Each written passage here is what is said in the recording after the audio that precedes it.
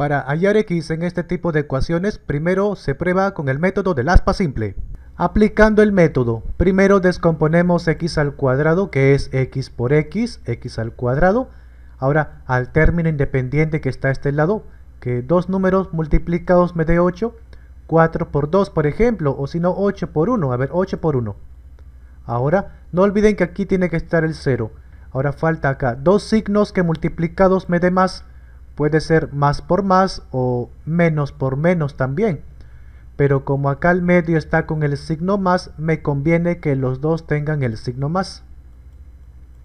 Vamos a comprobar si todo está correcto. A ver, x por más 1 es 1x. x por más 8, multiplicación, es 8x. Y 1 más 8 da 9, 9x, o sea, más 9x.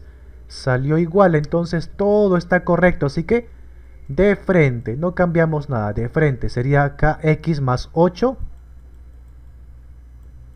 igual a 0, porque acá dice, o oh, ahora la segunda fila, que es x más 1 igual a 0, ahora de acá más 8 se traslada al otro lado y cambia a menos 8. Acá también igual, más 1 pasa como menos 1.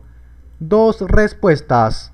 Si no encuentras los números, aquí en las pantallas finales hay ejemplos de qué hacer en esos casos.